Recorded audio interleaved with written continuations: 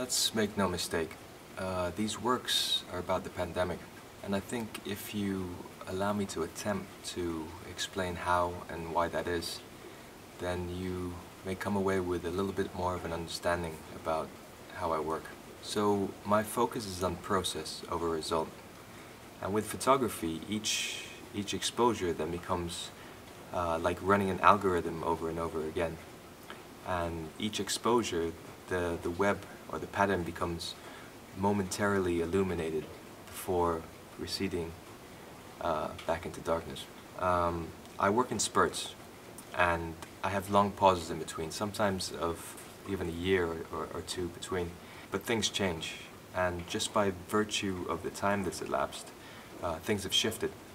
So then it becomes my role to um, feel out these shifts, navigate them, try to find equilibrium again. In my last major series um, called Searchlight, I shot lights kind of um, uh, streaming across uh, ocean landscapes. And then after that I made a smaller series called First Light, where instead I focused down on the reflection of the moon um, as it danced on the surface of the sea.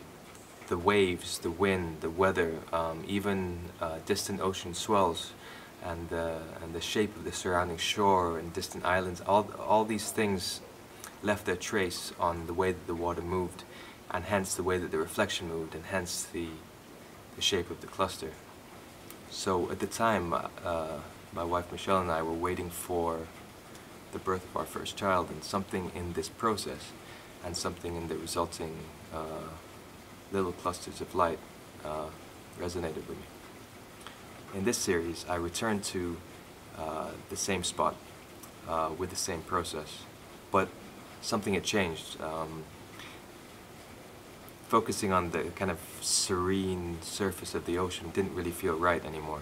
So something had to change and for this I, I broke one of my oldest rules which was uh, never to intervene in a scene I was shooting. So I, I threw a stone and, and the lines just went crazy and that somehow worked so I ran with it. I tried uh, disturbing this resting state in different ways with um, stones and poles and, and dripping water, pouring water. I tried different bodies of water from, from the sea to ponds and uh, reservoirs. I tried different angles of the moon, I tried artificial light, I tried mixing in uh, light from the early dawn, and then I tried constructing uh, these two apparatus which suspended planks of wood at the water surface and they could bounce ripples off them and they could also be used to, to, to make their own movement in the water and, and uh, that did work. So I, I, I just experimented and I pushed and I shot thousands of images and from that I edited it down to, to these 10.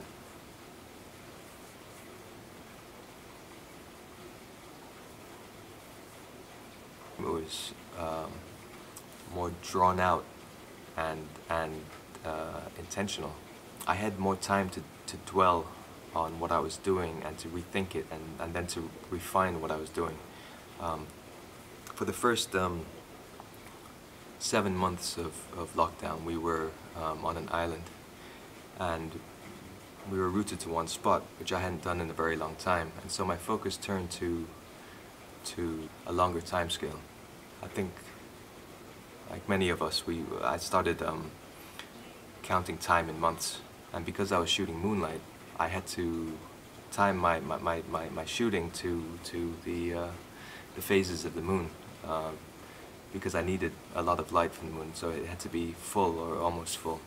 So while my focus was on the disruption within the frame, it, it was also um, on the kind of ever-present equilibrium, which drew the disturbance into, uh, into balance.